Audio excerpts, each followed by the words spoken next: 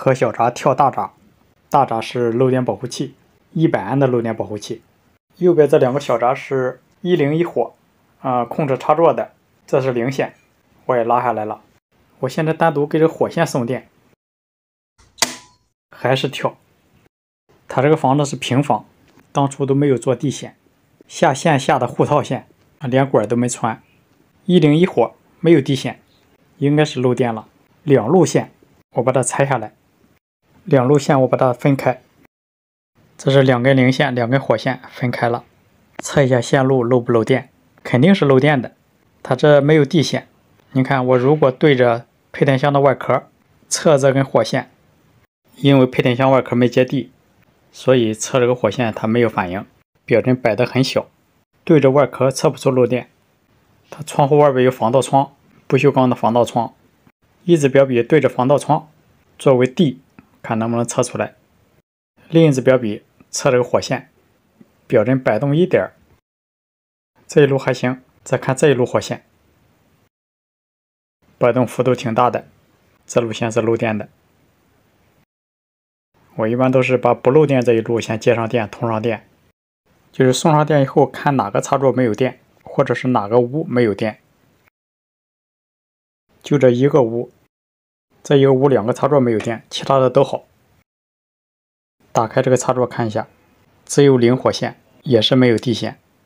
没有地线怎么测漏电呢？对地没办法测，贴的地板砖，它这个电路没走地，走的墙，那我就对着墙测量。一支表笔测水泥墙，这个墙有点潮湿。另一支表笔来测这个火线，漏电。再测这个零线，也是漏电。它这个漏电是对墙体漏电，而这个墙有点潮湿，墙皮都掉了。断开这个主线，把零火线全断开。再测这个火线，好了，不漏了。也就是说，从配电箱过来这段线没问题，往下一路插座走这段线，再漏电。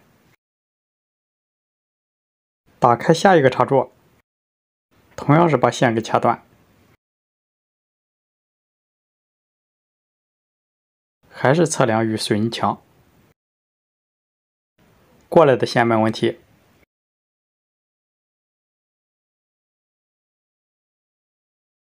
还是往下边走这一路线有问题。房主说这路线当时下的时候往卫生间走的，隔壁就是卫生间，卫生间的插座。早就都废掉了，没用，好像感觉这个墙面有漏电，所以把这些插座都去掉以后，这个线路就没用过。这个插座很早以前就没有电，所以包起来没用。它另外这路线还拉着水泵，水泵也掐掉了，早就不用了。这路线在卫生间已经出现过问题了，所以说这路线就不用了。这样就把往卫生间走这路线不要了，把线头包起来，这样问题找到了，所有的插座都好使。当然，再测就没问题。你看啊，测漏电它没有地线，可以对着大地测。我这次是对着墙面测，还有对着防盗窗，啊，不是误导大家啊，有时候是可以的。这样我把这个线接上就好了。一个很普通的小案例，感谢您的观看。今天来工地了，修个打夯机，我是第一次见这东西，工地的路不好走。你看脚下还有电缆线，来看一下它的控制柜，漏电保护器，下面是两套老式的交流接触器。这个打夯机要正反转，这两个接触器应该是控制正反转的。打夯机的功率比较大，它的背面还有电路。这个控制是星角启动，它整个控制柜就是说既能正转也能反转，而且都是星角启动，电机线都没接。这个打夯机从别的工地刚拉过来，接上以后只有正转没有反转，也就是说星角启动这边这一块电路运行正常没问题。问题还是出现在这两个接触器控制电路上。反正第一眼一看这些螺丝啊线呀都历经沧桑，你看都锈的。你再看它下边这个常开常闭触点，这些压线螺丝。前两天晚上有人给我打电话说修打夯机。说光正转没反转，让我晚上修，我没来。今天是另一个师傅找的我，还是这个打夯机。工地的师傅说，他们最先发现是这些线头有掉的，掉了以后又不知道接哪，就这么上接上了，但是就是不好使。反正现在只能开这个正转，这个启动正常，星角启动正常，点反转它就不工作。这个电路其实就不复杂，呃，正转和反转是一个启动自锁互锁电路，就是它吸合，它就不能吸合，它两个的控制电路是互锁的。如果同时吸合啊，那就爆了。刚才那两个接触器与后边这两个接触器组成星角启动，随着那两个的吸合，无论是正转还是反转，它都会启动来运行电机。等一下看能不能启动起来。星角启动加正反转，这个见的不多，但是你一捋它这个电路原理，就是正反转电路加星角启动。主电路好看，就是难理解的就是控制电路。刚开始学电的时候，还有这个星角启动，这六根线电机这六根线的接法，等一下都得给它接上。现在先不能接，得把控制电路捋好以后，能启动正常运行，再往上接电机线。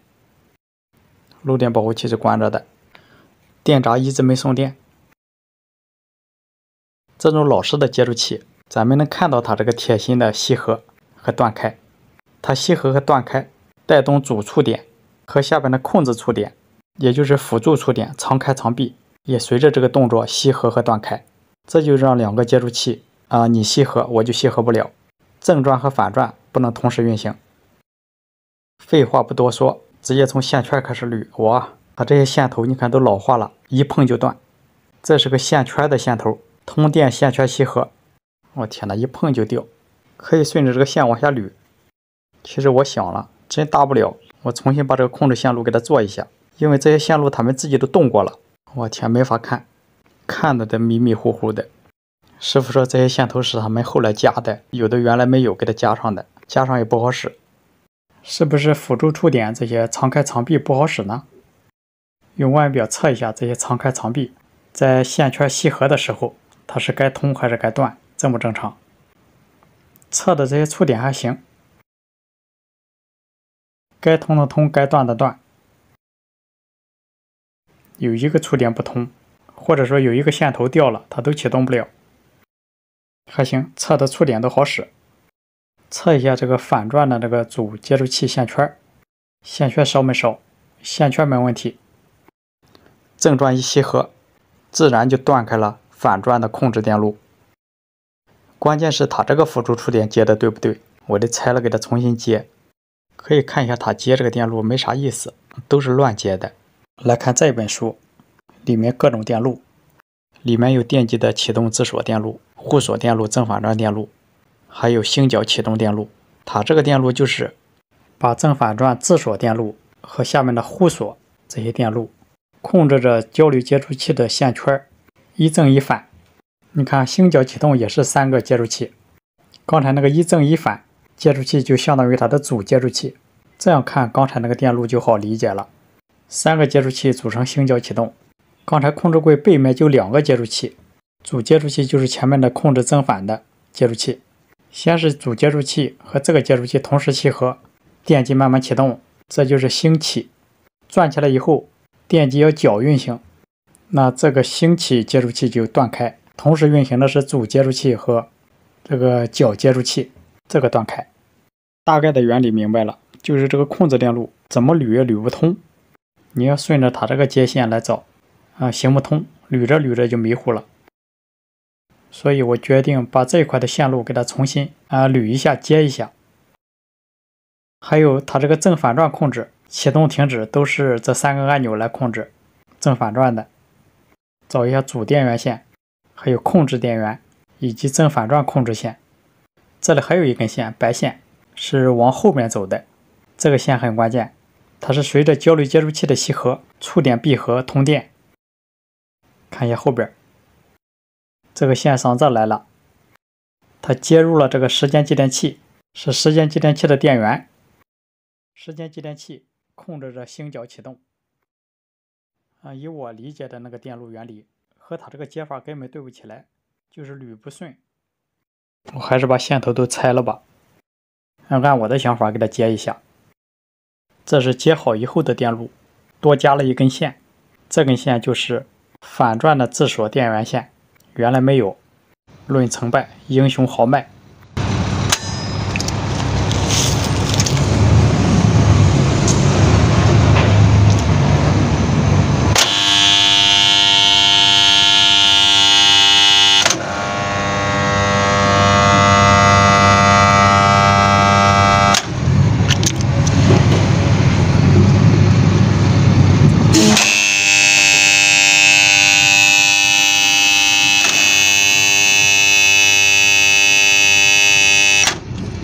后边的吸合情况。不用开了，你试试，你给你开个试。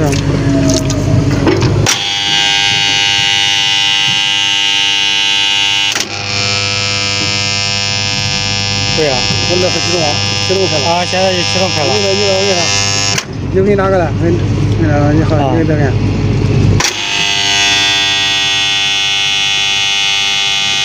啊。这就对了，这就对了，这就行车启动，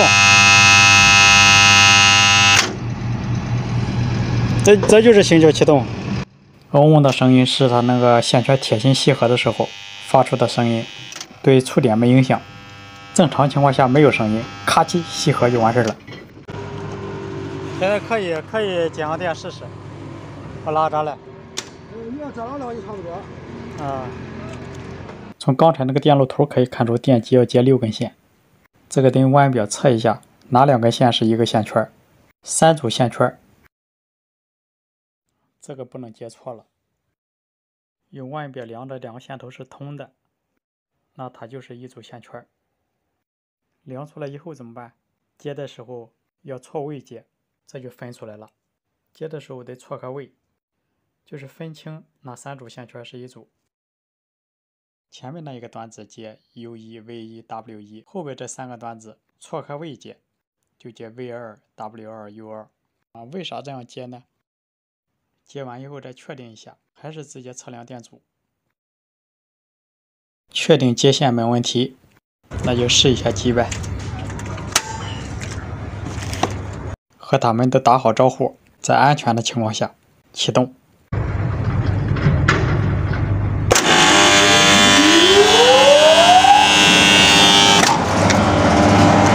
电机在哪了？这个正反转你们可以自己无所谓吧？反复试验了正反转，运行正常，我的维修也就完成了。感谢您的观看。